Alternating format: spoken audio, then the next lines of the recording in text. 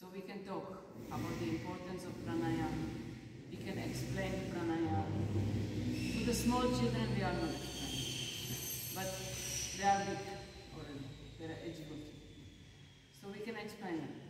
छोटे बच्चों को प्राणायाम क्या है वगैरह ये बताने का ज़रूरत नहीं है लेकिन जो हम आपके उम्र के कि जो लड़के उनको प्राणायाम क्या है वो बताना ज़रूरी है क्योंकि उनको उसका महत्व मालूम होना चाहिए छोटे बच्चे ऑलरेडी वही कर रहे हैं तो उनको बताने की ज़रूरत नहीं वो अपना प्रैक्टिस जानते हैं जैसे एज में मतलब अब वो एटीन बच्चे लड़के जो है उनको हमें बताना चाहिए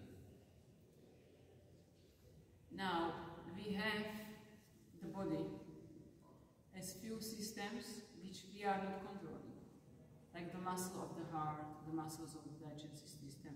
It works automatically, body में कुछ पार्ट ऐसे है कि जिनको हम कंट्रोल नहीं करते हैं। जैसे हार्ट का जो मसल्स हैं हार्ट को कंट्रोल करना बॉडी को अभी तक नहीं आया या फिर डाइजेस्टिव सिस्टम में जो अटड़े वगैरह है उनको भी हम कंट्रोल नहीं करते वो अपना काम खुद करते हैं। The breathing is also something which is automatically. Breathing ये जो क्रिया है वो ऑटोमेटिकली होने वाली क्रिया है। but it's the only automatic system which we can also control. ये ऑटोमेटिक सिस्टम होते हुए भी हम इसको कंट्रोल कर सकते हैं। ब्रीथिंग भी ऑटोमेटिकली हो रहा है जैसे हार्ट का है जैसे आंतड़ों का है। वैसे ब्रीथिंग भी ऑटोमेटिकली होता है ना अपना हम उस पर लेकिन यही एक सिस्टम है कि जिसको हम कंट्रोल कर सकते हैं। It means if I am practicing yoga I became more aware how I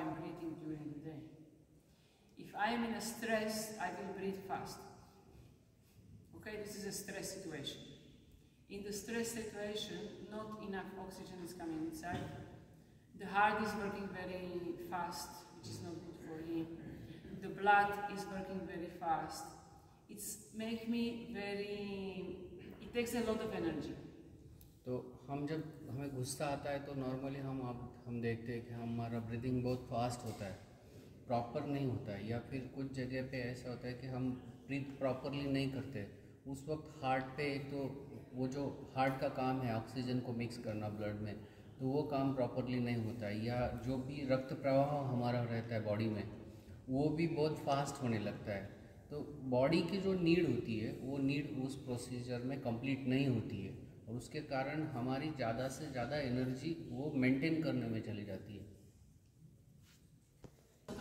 right? There is a stress situation, I'm before my exam, so I'm in stress. I will breathe fast.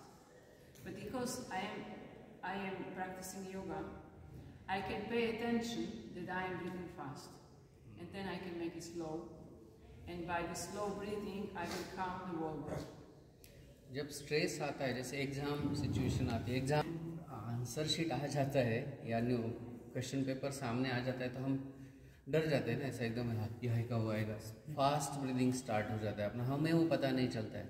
लेकिन आप प्राणायाम की regular practice करते हो तो आपको, आप control कर सकते हो। उसको आपको पता चल जाता है कि, अरे, मेरा ब्रीदिंग फास्ट हो रहा है। नॉर्मली वो नॉर्मल पर्सन को पता नहीं चलता है। लेकिन अगर आप ये प्रैक्टिस करते हो प्राणायाम का तो आपको पता चल जाता है और फिर उसको आप कंट्रोल कर सकते हो।